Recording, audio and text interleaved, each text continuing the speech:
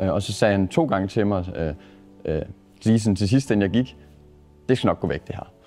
Så tænker jeg sådan, ah, hvordan fanden, altså, ved, hvorfor tør du sige det? Men, men altså, nu er det så vist sig, at det, det, det gjorde det, så, så det, det var ret fedt. Det gav mig virkelig noget ro. Altså, jeg har haft ondt i øh, brystryggen, har jeg kaldt det. Øhm, men også nak, og, og så har mine bryster været ømme hele perioden også, og det har det cirka været i to år. Så altså, jeg var påvirket sådan i den forstand, at når jeg studerede, så øh, gik der et kvarter, hvis jeg sad i en eller anden given stilling, og så var, jeg, så var jeg mærket af det, eller hvis jeg lå ned i sofaen og læste, som jeg gjorde ret ofte, så var jeg mærket af det. Uanset hvordan jeg sad øh, ved min computer eller mit skrivebord, så var jeg mærket af det. Øh, så de situationer, hvor jeg ikke var mærket af det, det var, hvis jeg gik. Men det påvirkede, det påvirkede mig 24-7, vil jeg sige. Altså udover de øh, 5-6 timer i døgnet, hvor man så sover uden at være bemærket af det. Ja, altså det første, jeg gjorde, det var at kontakte min læge, og så, øhm, så, så prøvede at kigge lidt på min ryg, men altså, jeg fik hurtigt sådan en fornemmelse af, at, at den slags smerter, det var noget, de ikke sådan rigtig øh, forholdt sig så meget til. Så han sendte mig til en øh, kiropraktor, han kendte. Så brugte jeg øh, 5-6.000 kroner der hen over en periode, uden øh, nogen form for bedring. Så stoppede jeg lidt med det, og så øh, gik jeg lidt tilbage til det. Så gik jeg til min læge igen, og så sendte han mig til en fysioterapeut. Så brugte jeg nogle penge der, øh, og så har jeg faktisk været ved en akupunktør, og dem har jeg været ved to af. Så har jeg været ved en osteopat. Um, og ja, det er alt sammen uden effekt. Ja. Så det første, jeg fik at vide, det var fra min egen læge, at, øhm, at det nok var facetledssyndrom. Jamen, han kunne sådan presse på et øh, sted på min rygsøjle, og så kunne, han, ja, så kunne jeg erkende, at det gjorde ondt.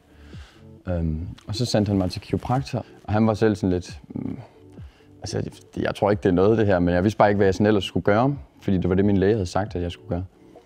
Og så tog jeg til fysioterapeut, um, og han var sådan meget fixeret på, om det kunne være noget psykisk, sådan, øh, som jeg foretog mig. Øhm, og den proces, den, øh, den forårsagede så, at jeg selv gik i sådan en, en, øh, en kan man sige, tankeboks og prøvede at finde ud af, hvad, hvad er det, jeg gør? Altså, går jeg på en forkert måde? Øh, er der et eller andet, jeg sådan overser øhm, i mit daglige virke? Så blev sådan meget ekstremt optaget af og sådan, at sidde helt fuldstændig rakt øh, konstant. Men det, det havde simpelthen ikke nogen effekt. Så altså, Ja, så, så, så knirkede og knagede det lidt hele tiden, og det forvirrede mig sådan lidt. Altså, jeg prøvede hele tiden at finde en løsning på det, men øh, ja, det kunne jeg ikke. Altså, jeg synes, jeg har været igennem mange ting.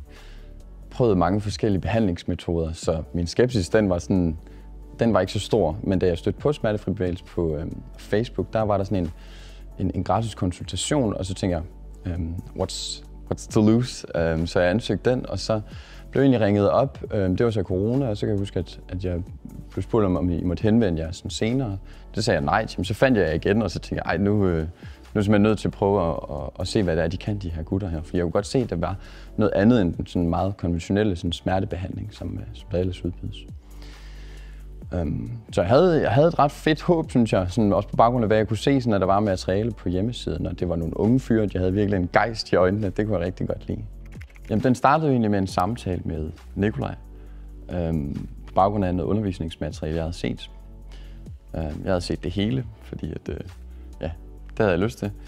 Og, øhm, og sådan, kunne, kunne ligesom fortælle ham allerede der, sådan, at jeg, jeg følte, at sådan 30 procent af mine smerter var faktisk væk på baggrund af den nye smerteforståelse, som jeg havde fået gennem det her materiale. Det var jeg selvfølgelig ret lykkelig over. Øhm, og da vi så ligesom havde talt om smerte og sådan fået, kan man sige, lige vendt det materiale, som jeg havde øh, haft tid til at reflektere over, så gik vi ind og prøvede sådan at udfordre området.